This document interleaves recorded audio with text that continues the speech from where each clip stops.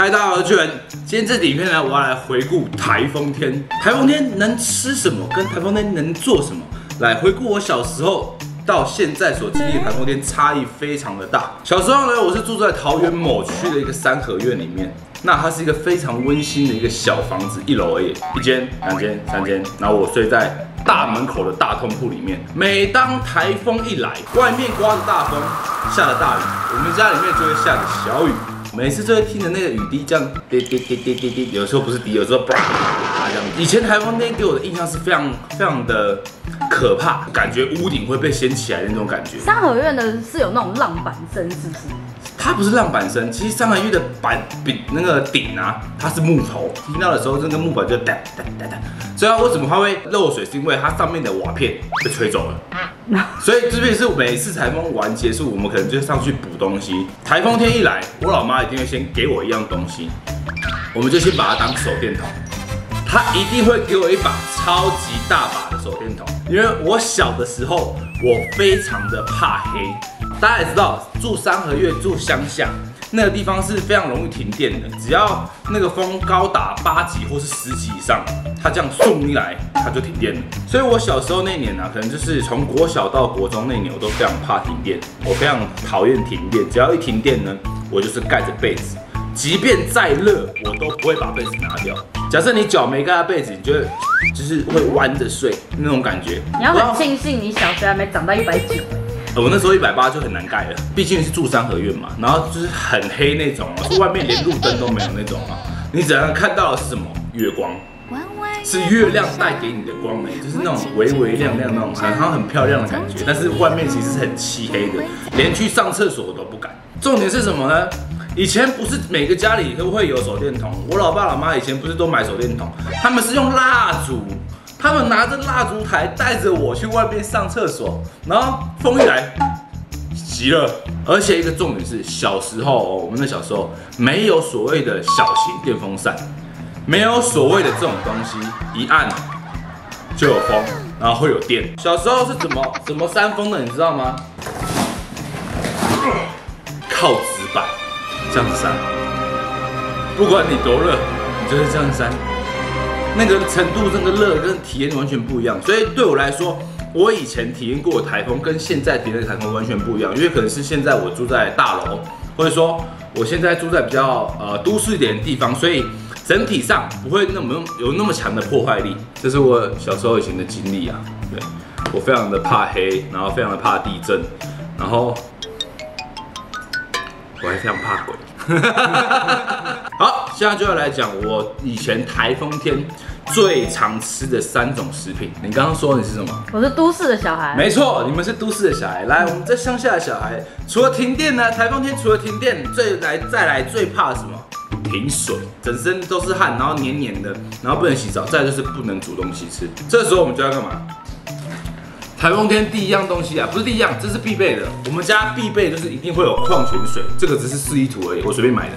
所以，我们家呢，在台风天来之前，我们就会先蓄水，会有一个非常大的桶子，比我那时候比我还要高，然后在里面全部灌满水，才有办法用。因为以前台风天，我的印象啊，是会让我们外面淹水的哦，整个淹水淹起来哦，会淹到小腿这个高度。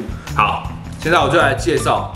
我小时候最常吃的台风天最常吃的三种食物，来，第一种，这个大家已经吃过，排骨鸡面啊，这个东西应该是在家里必备的啊。除了排骨鸡面，再来是满汉大餐，然后再来是一剁站这些泡面类的东西，维力炸酱面这些泡面类的东西，家里一定会有，在台风天之前一定会买。为什么？因为它好方便，好煮。有时候我老爸妈也不煮，拿一包给我。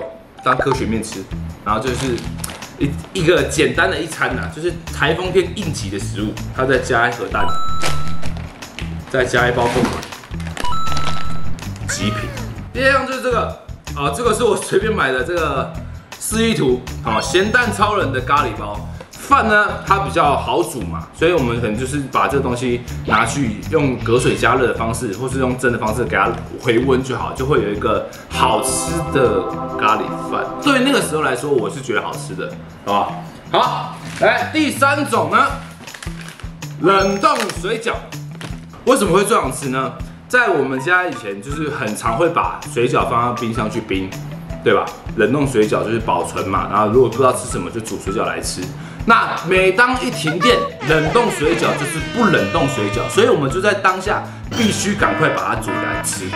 每当一停电呢，我们就会开始清理冰箱，你就会有两种心情。第一种心情是你会感谢了阿公阿妈，他们特别会保存食物，他们特别会保存肉品，一整只鸡哦。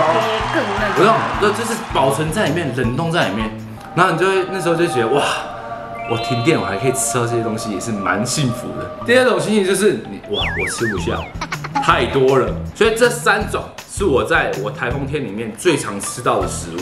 现在的台风啊，跟我以前体验过的台风是完全不一样的。阿金呢，他可能对以后对台风的认知应该只有台风假，我要放假。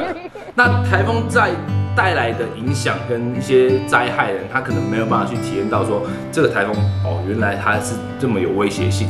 我觉得就是要让呃小孩子啊去了解一下台风这种东西哦，不是说你看起来好像外面无风无雨，好像没怎么样，可是你到了一些影响真正被影响的地区的时候，它开始有影响的时候，你想要躲的时候，你也躲不掉。现在住是住在都市或者住在这种哦已经比较高楼大厦的这种房子里面了。